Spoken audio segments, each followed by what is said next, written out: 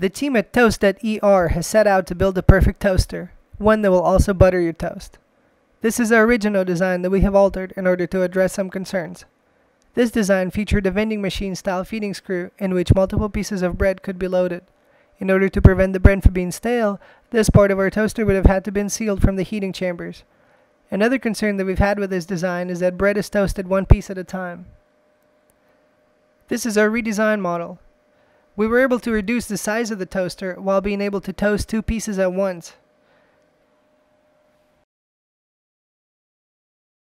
Next part of the video takes us to the creation of the spice schematic for the heating chambers of our toaster.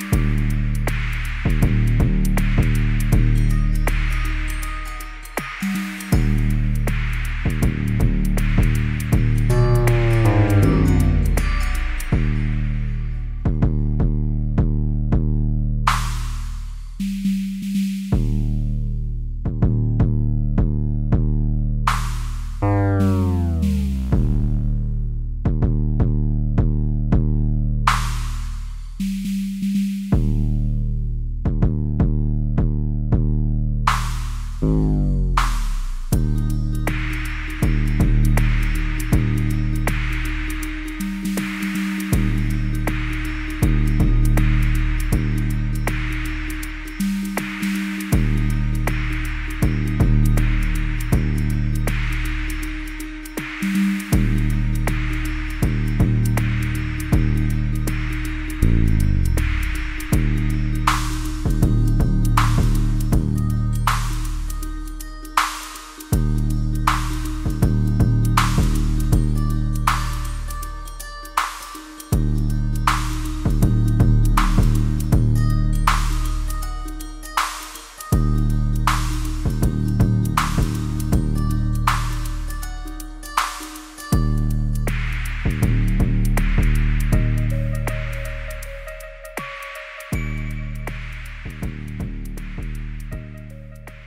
This is the creation of potentiometer using voltage divider.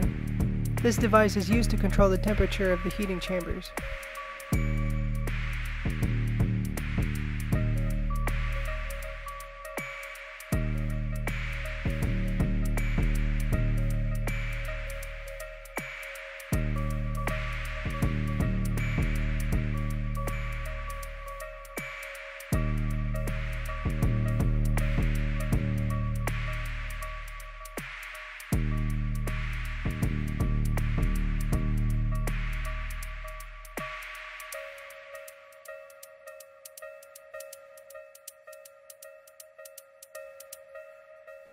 Now we have to make our own symbol for the potentiometer.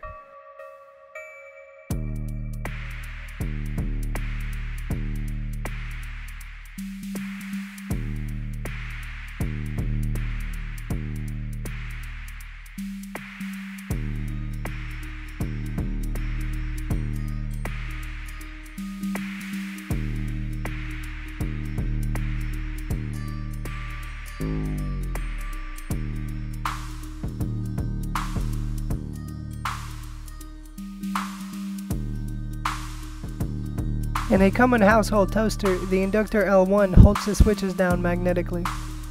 We plan on using voltage controlled switches. In a common toaster, the potentiometer is controlled manually. We're currently working on a clever interface for this. This is a CMOS chip that we have found designed for household toasters. We plan on using this chip for controlling our heating chambers. Thank you, and please stay tuned for part 2.